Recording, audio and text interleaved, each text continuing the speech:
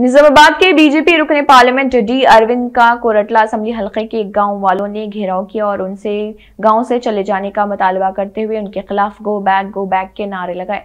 तफसीत के मुताबिक बीजेपी रुकने पार्लियामेंट अरविंद आज अपने लोकसभा निजामाबाद के तहत आने वाले कोरटला असम्बली हल्के के इब्राहिम पट्टनम मंडल के एरधंडी गाँव पहुँचे। वो सैलाब से मुतासरा मकाम के दौरे पर थे, जहाँ सैकड़ों गाँव वालों ने रुकने पार्लियामेंट की कार को घेर लिया और उनके खिलाफ नारे लगाए।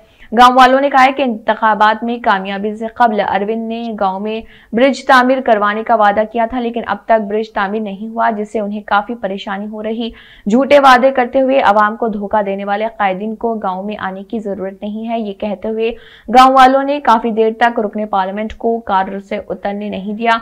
गाँव वालों के अचानक रुकने पार्लियामेंट को रोकने के बाद यहाँ कुछ देर के लिए कशीदगी फैल गई। बादजा पुलिस ने मुकामी अफराद को मुंतशिर कर दिया, जिसके बाद रुकने पार्लियामेंट दौरे पर रवाना हुए। दूसरी जानब मुकामी अफराद ने इल्ज़ाम किया कि बीजेपी के कारकुनों ने उन पर हमला किया। रुकन पार्लियामेंट जब दौरे खत्म करके वापस हो रहे थे तो गाँव वालों ने उनके काफिले को रोकने की कोशिश की और काफिले में शामिल गाड़ियों पर हमला किया, जिसके नतीजे में दो गाड़ियों को नुकसान पहुँचा।